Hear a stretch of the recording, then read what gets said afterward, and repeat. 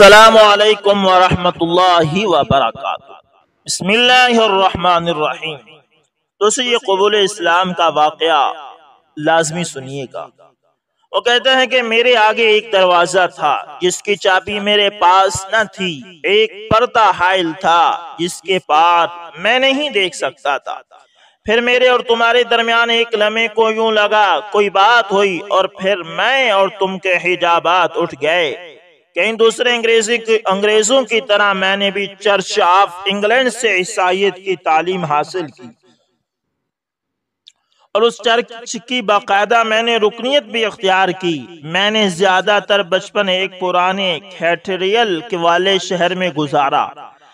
ये शहर उस जमाने में बड़ी तादाद में गिरजा घरों और शराब खानों की वजह से मशहूर मारूफ था। मुझे याद है कि मुझे इस और दूसरे लोगों ने बाइबल के दस अहकाम रब्बानी ईसाइत के बुनियादी असूलों और बाइबल की तालीमत वगैरह से आशना किया।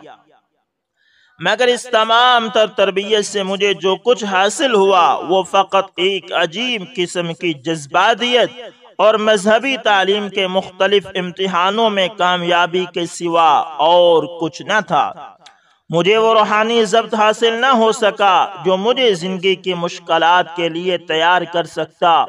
उन्नीस की दहाई के दौरान मैंने मिस्र में रॉयल एयरफोर्स में कुछ देर काम किया। वहाँ एक अंग्रेज़ दोस्त के हमरा मुझे एक रात निसफ शब के करीब विलादत नबी सल्लल्लाहु अलैहि वसल्लम के सिलसिले।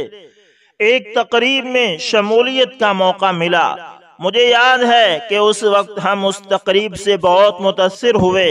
अरबी में नात खानी हवा में लहराते इस्लाम के परचम। अकीदतमंदों के खलूस और उनके मुशफ़ाना मेहमान नवाजी ने हमें बहुत मुतासर किया। मगर मैं ये एतराफ़ करना ज़रूरी समझता हूँ कि उस वक्त हम महज तमाशाई थे। इंग्लैंड वापसी पर मेरी जस्तजू और तजस का आगाज़ हुआ। दानिश हकीकी की तलाश पर मुझे प्रेंटिस मलफोर्ड की एक छोटी सी किताब ने आमादा किया। उस छोटी सी किताब ने सादा लफ्जों में मुझे कुत फ़िक्र से आशना किया। उससे मुझे मालूम हुआ कि किस तरह बुरे ख्याल एक बुरा माहौल मुरतब करते हैं, जबकि अच्छे ख्याल अच्छा माहौल कायम करते हैं। और दुरुस्त साइंसी सोच ख्वाहिशात की तस्कीन का सामान फराम करती है। ये तलाश तकरीबन चार पाँच साल तक जारी रही। उस अरसे में मैंने वसी मुताल किया। मुख्तलिफ़ तकारीर सुनी और मुबासों में हिस्सा लिया। मजहबी फलसफा बुद्ध मत योगा का फलसफा, रूहानियत तसवुफ कैथोलिक मज़हब, फ़िक्र जदीर और पैलमन अजम वगैरह, इस पर मैंने खूब पढ़ा। गर्ज हर मज़हब और हर फलसफे का मुताल कर डाला, मगर हर फलसफे में चंद एक अबदी हक के सिवा और कुछ न मिला। लिहाजा यूँ कहा जाए तो बेजाना होगा कि मैं खाली हाथ वापस लौट आया। 1926 तक मैं इस्लाम की सादा मगर इंतहाई माकूल और इतमान बख्श तालीमत से मुतारफ नहीं हुआ था। एक दिन मंडलैंड की एक पब्लिक लाइब्रेरी में जाने का इत्तेफाक हुआ तो रिसाला इस्लामिक रिव्यू का ताज़ा शुमार देखा। इस्लाम क्या है कि उनवान से उस रिसाले में चंद सफ़े देखकर मुझे फ़ौरन पता चल गया कि यही मेरा मतलूब जस्तजू था।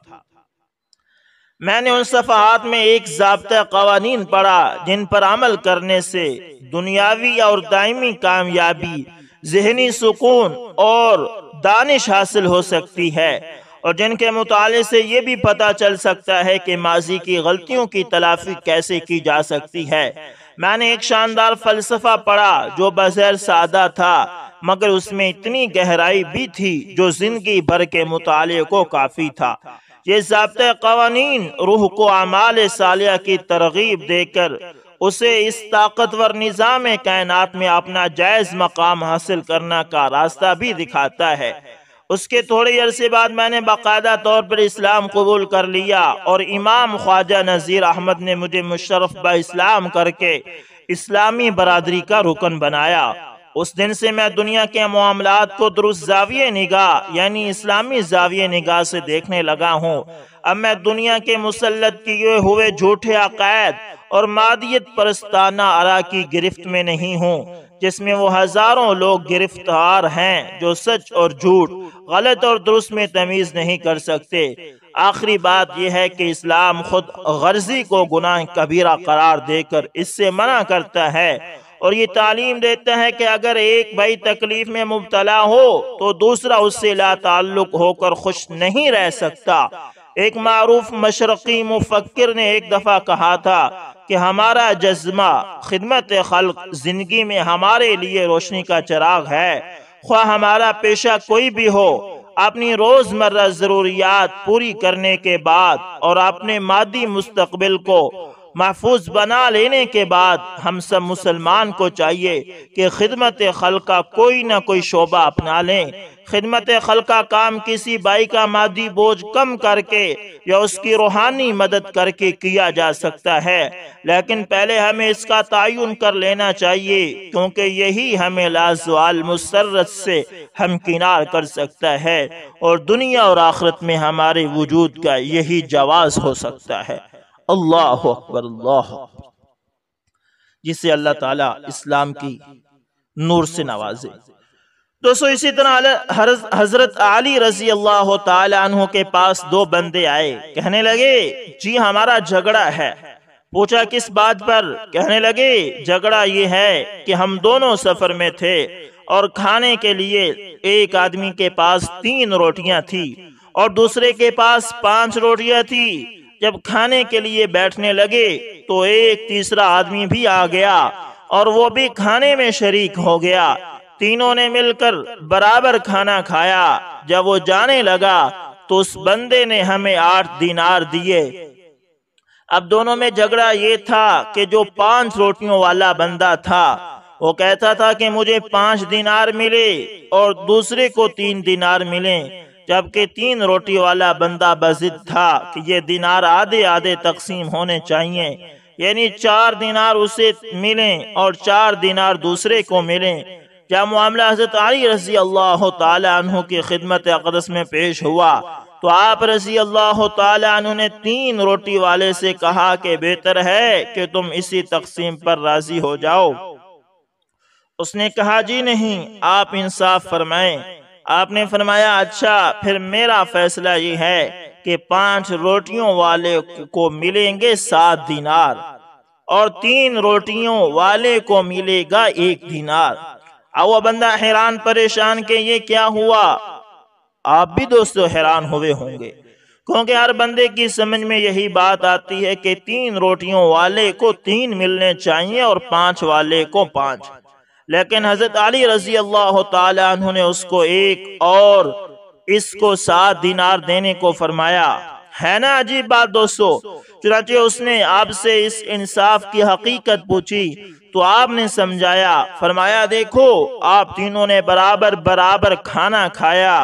रोटियों की कुल तादाद आठ थी। हर रोटी को अगर तीन बराबर हिस्सों में तकसीम करें तो रोटी के कुल चौबीस टुकड़े बनते हैं।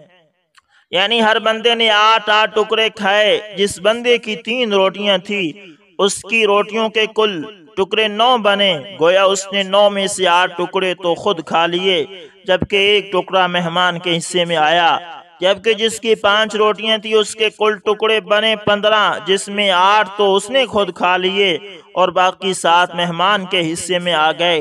लिहाजा इंसाफ का तकाजा ये है कि उसको एक दिनार और इसको सात दिनार दिए जाएँ। अल्लाह अकबर, अल्लाह ये थी हज़रत अली रज़ी अल्लाह तु की जहानत दोस्तों, इसी तरह हज़रत मौलाना मुफ्ती मोहम्मद तकी उस्मानी साहब दामत बरकतुमलिया ने अपनी किताब तराशी में एक अजीब वाक़ लिखा है। वो कहते हैं कि एक आलिम फरमाया करते कि मुझसे दो काम ऐसे हुए कि कोई भी नहीं कर सकता, एक अच्छा काम और एक बुरा। अच्छा काम ऐसा हुआ कि कोई कर नहीं सकता और बुरा काम भी ऐसा हुआ कि कोई कर नहीं सकता। लोगों ने पूछा, कौन से काम? वो कहने लगे कि एक दफ़ा उलमा की महफिल में तस्करा हुआ कि फुला हाफिज फुला हाफिज। और मेरे बारे में कहा कि ये आलिम तो बड़ा भारी है, मगर हाफिज नहीं है। मैंने ये सुना तो मुझे ख्याल आया कि मैं आज से ही हिफ्स शुरू करता हूँ। चुनाचे उसी वक्त मैंने कुरान पाक के पारों को याद करना शुरू कर दिया। अल्हम्दुलिल्लाह मैंने तीन दिन के अंदर कुरान पाक मुकम्मल हिफ्ज कर लिया। ये खैर का काम ऐसा हुआ कि कोई ऐसा कर नहीं सकता। और एक बुरा काम भी मुझसे हुआ। वो ये कि एक दफ़ा महफिल में बैठे थे। बैठे बैठे मेरे बात में ये बात, मेरे बारे में ये बात चल पड़ी कि ये बड़े अक्लमंद हैं। और चंद खूबियों का ज़िक्र भी हुआ। ये सुनकर मेरे अंदर भी खुद पसंदी आ गई और उजब की थोड़ी सी कैफियत आई। इसका नतीजा मुझे ये मिला कि जुमे का दिन था। मैं जुमे की तैयारी करने के लिए घर गया। तैयारी के दौरान ख्याल आया कि मैं अपने बाल और नाखन काटूं। जब मैंने नाखन काट लिए तो मैंने सोचा कि दाढ़ी के बाल काफ़ी बढ़ चुके हैं। मैं उनको सुन्नत के मुताबिक नीचे से बराबर कर दूँ। क्योंकि एक मुट्ठी के बराबर बाल रखना सुन्नत है। इससे बड़े बाल हो जाएँ तो काटे जा सकते हैं। वो कहने लगे कि मैं एक मुट्ठी भर अपने बाल पकड़ कर काटने लगा तो बेख्याली में नीचे से काटने की बजाय ऊपर से काट बैठा। जब मैं मस्जिद में आया तो मुझे बहुत शर्मिंदगी हुई। हर बंदा पूछ रहा था और मैं बता रहा था कि मैं भूल गया हूँ। जिस बंदे के तीन दिन में कुरान मजीद हिफ्स करने के चर्चे दुनिया में थे, उसकी बेवकूफ़ी की ये बात इस कदर मशहूर हुई कि उसकी हर जगह बदनामी हुई। अल्लाह अकबर अल्लाह अकबर। दोस्तों, इसलिए हमेशा उजब उजब और खुद पसंदी से बचा करें। ये और खुद पसंदी ऐसा है कि ये बंदे को जलील और रसवा कर देता है। इसलिए दोस्तों, इससे हमेशा बचते रहा करें। दोस्तों, इसी तरह वो गिलगित के इलाके गिजर का रहने वाला है। उसका इस वक्त डेनमार्क में मुकीम है और अपना कारोबार करता है और अपने रिश्तेदारों में आज भी डांसर के बेटे के नाम से वो जाना जाता है। उसका नाम तैमूर इकबाल है, मगर इतने बुरे अलकाबाज से पुकारे जाने के बावजूद वो कभी भी रिश्तेदारों से कता ताल्लुक नहीं करता। लोग उसकी वालिदा को बुरा बोलते हैं तो इंतहाई नरमी से वो कहता है कि वो जन्नती खातून है। आप उनका माजी को नहीं, बल्कि उनकी अल्लाह ताला से मांगी गई माफ़ी को भी देखो। वो बताता है कि मेरी वालिदा इंतहाई लोअर क्लास से थी। हम चार बहन भाई थे। मैं सबसे छोटा था। मैं वो मेरे वालिद साहब का इंतकाल हुआ तो उसके बाद किसी रिश्तेदार ने हमारी खबर न ली। मेरी वालिदा ने मेरे ददयाल वालों को बच्चों की किफालत के लिए माली ताउन का कहा तो उन्होंने मेरी वालिदा को बच्चों समेत घर से निकाल बहर किया। मेरी वालिदा हमें लेकर अपने भाइयों के पास चली गई, मगर उन्होंने भी हमारी किफालत से इनकार कर दिया। तो मेरी वालिदा ने अपने भाइयों से कहा कि मेरा किसी ऐसे शख्स से निकाह कर दें जो मेरे बच्चों की किफालत कर सके।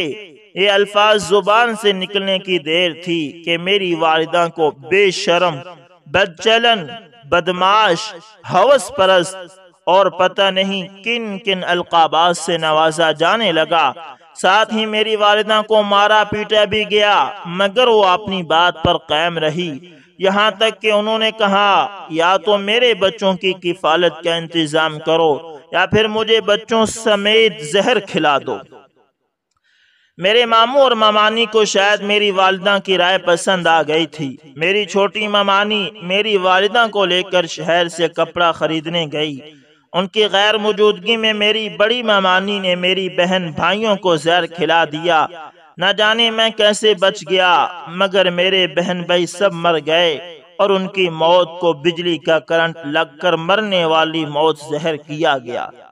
बच्चों की मौत के बाद चार दिन मेरी वालिदा अपने भाइयों के पास रुकी, और फिर मुझे लेकर वहाँ से रातों रात फरार हो गई।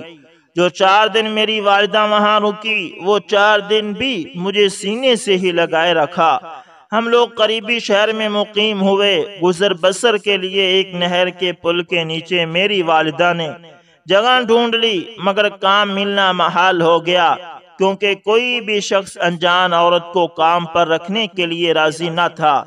भीख मांगकर मेरी वालदा खाना नहीं चाहती थी। उसी दौरान मेरी वालदा की मुलाकात एक ढोल पार्टी से हुई। उन्होंने मेरी वालदा को बतौर डांसर अपने साथ काम करने का कहा। जो मेरी वालदा ने उनकी बात मान ली, यो मेरी वालदा शादी, ब्याह और दीगर खुशी के मौके पर बतौर डांसर काम करने लगी।